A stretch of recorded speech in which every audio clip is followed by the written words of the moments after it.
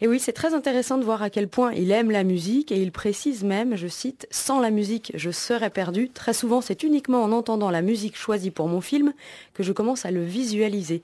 Martin Scorsese est né en 1942 à New York. Il est évidemment l'un des plus grands réalisateurs de notre époque. Et dès ses premiers films, il se fait plaisir avec la bande originale en utilisant ses œuvres et ses titres musicaux préférés. On va se concentrer, nous, ce matin, d'abord sur son chef-d'œuvre Raging Bull, un film en noir et blanc sorti en 1980 avec De Niro, qui recevra d'ailleurs l'Oscar du meilleur acteur. Quand on lui propose de faire ce film, Scorsese n'y connaissait absolument rien au sport, encore moins à la boxe, et il se demande vraiment comment euh, appréhender une histoire qui demande une telle énergie. Et puis, l'idée lui vient de faire accompagner les matchs par une œuvre qui a bercé son enfance, l'Intermezzo de Cavalleria Rusticana. C'est un opéra de Pietro Mascagni, composé en 1889.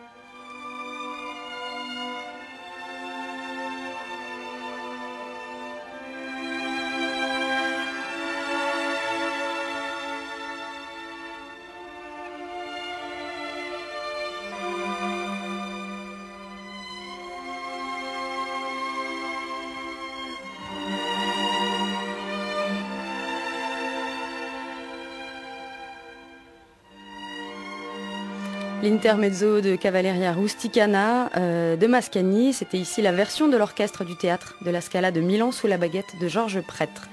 On sent bien ici hein, la grandiloquence poétique qui se dégage des scènes de combat sur le ring, filmées au ralenti ou en plein échauffement.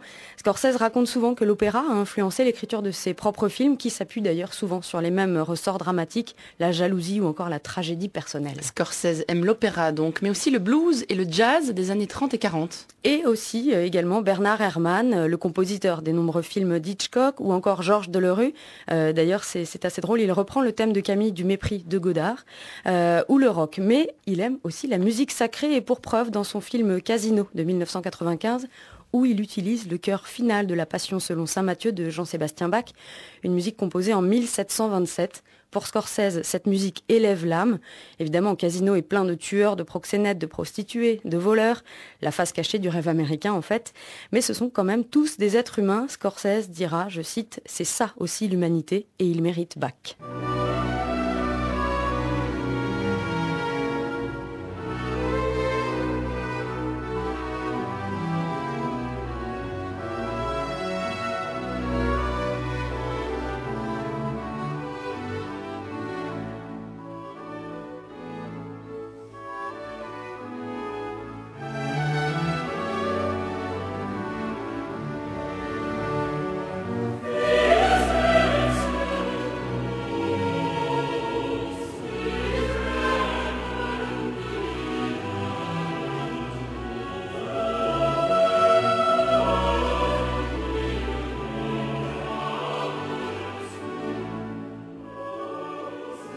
Les truands de Casino méritent la musique de Bach, disait Scorsese. Nous aussi. Hein. Oui, c'est euh, vraiment de toute beauté. C'était ici une version de Philippe Hervé qui dirigeait le Collégium vocal de Gand.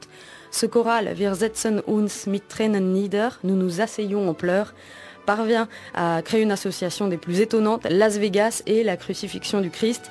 Et il illustre la scène d'introduction avec l'explosion de la voiture de De Niro et l'on voit son âme s'envoler dans les lumières d'un Las Vegas rempli d'illusions. Pour Scorsese, c'est une nécessité d'écouter chaque matin de la musique du XVIIe siècle, il l'a dit, Rameau, Lully ou Bach, et évidemment la musique fait partie intégrante de sa vie et de ses films. En fait, il se comporte comme s'il était le compositeur de ses propres films. Vous m'aviez parlé d'un documentaire intéressant sur Scorsese et la musique Et oui, je vous le recommande, Martin Scorsese, L'émotion par la musique de Clara et Robert Cooperberg, euh, sorti en 2005 et c'est vraiment passionnant. Merci beaucoup.